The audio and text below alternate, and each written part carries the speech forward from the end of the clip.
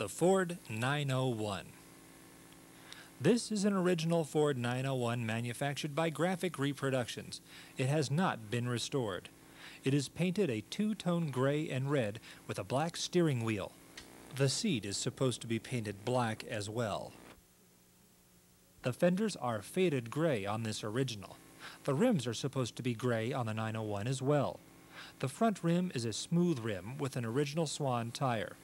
The 901 also has a different grille than the 900. It has a grid type grille. It also has variations in the holes on the bottom sides of the tractor. This 901 has the stamped steel fenders and a different stamped steel seat than the last 900. Either version would be correct. The motor is closed in on the 901s, which makes it much harder to install the headlight. The raised cast-in Ford lettering is painted on the left side, also on the right side, and on the stamped steel fender.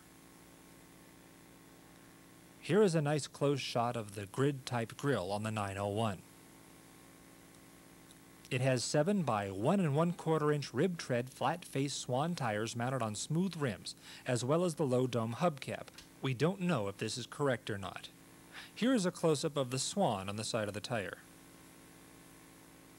And a close-up of the words, puncture proof.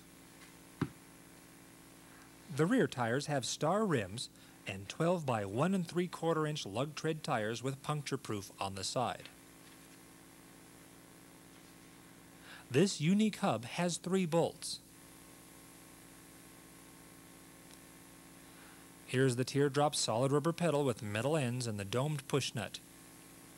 And here is the steering wheel on the 901. Here you can see the lower angle of this steering shaft as opposed to the 900 steering shaft, which is pointed straighter up into the air. The gear shift lever with the knob that should be painted gray. The stamped steel seat, unique to this tractor, and the seat bracket. The hitch is merely a hole in the casting the Ford 901.